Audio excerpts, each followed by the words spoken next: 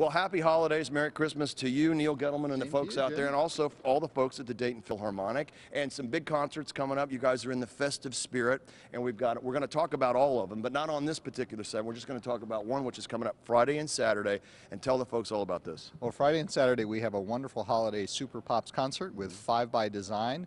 They're a close harmony group. They are basically what they do is they recreate like a 1940s era old time radio show. Uh, and the orchestra is like the house band, and they do the whole thing. They do songs, they do skits, they do advertisements. Uh, game shows. It's a really fun show, and they do lots of uh, lots of great songs from the 40s, but especially a lot of uh, Christmas music, some of Bing Crosby's musical hits, Glenn Miller Christmas songs. It's it'll be a lot of fun. And you know what's fun is watching you because you're having fun too. I try to have fun, and it's you know this is a good show because I I don't really have to do anything except conduct the orchestra. I'm like the maestro in the studio. I just do my job. I don't have to say anything. I don't have to.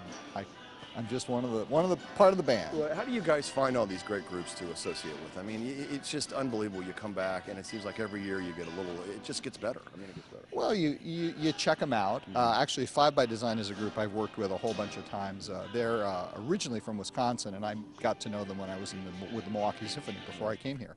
Uh, and we've uh, kept in touch, and they've been here. I think this is their third time now. The man makes one call and they're here. One call and they're here because he knows him.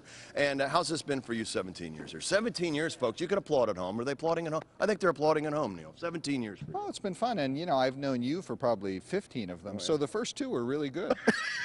I think he just took a shot there.